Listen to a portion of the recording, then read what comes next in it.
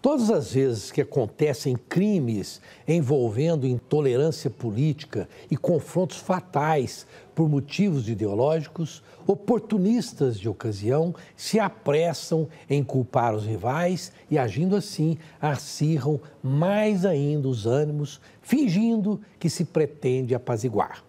É bom destacar que atos de violência não acontecem porque assim desejaram ícones importantes envolvidos no cenário.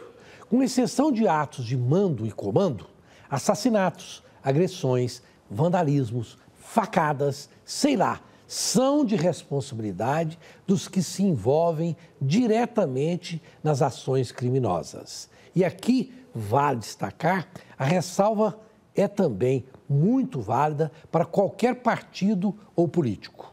Olho no olho, é perigoso destrutivo e injusto a terceirização de responsabilidades.